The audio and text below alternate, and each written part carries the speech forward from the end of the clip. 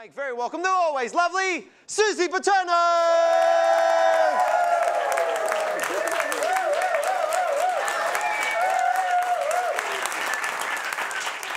Hello, hello, my lobsters.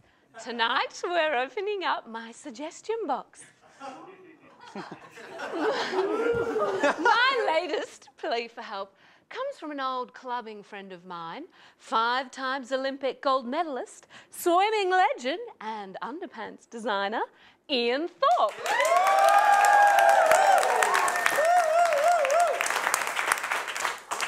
hey, babe. It really sucks balls.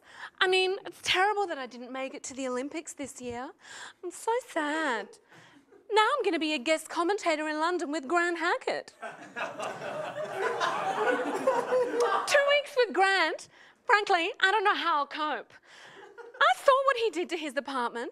If he lays a hand on me, I'm not sending him a pair of torpedo underpants for Christmas. but what am I going to do with my life after all this?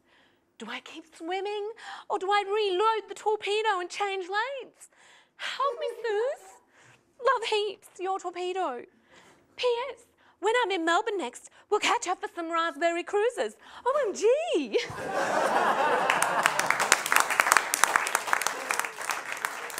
Ian, Ian, thanks for reaching out. Look, I'm sure the commentating gig will be super fun. Soon as you get back, though, go out and buy yourself a few boxes of Weet-Bix. You need to know how many Weet-Bix you can do to become a sports star with longevity. And give Uncle Toby a call. He could name a muesli bar after you. I know the tuna steaks didn't work, but maybe because people didn't want to eat the meat of champions? These could be called Thorpe's torpedo bars, covered in Ian's favourite nuts. then you get super fat and make sure you get photographed binging at Macca's. Imagine the headline Thorpe enjoys a double pounder. Remember, any publicity is good publicity. Then you approach Jenny Craig about a campaign to get you back to your original weight. You could do TV ads, The Biggest Loser, or even Dancing with the Stars.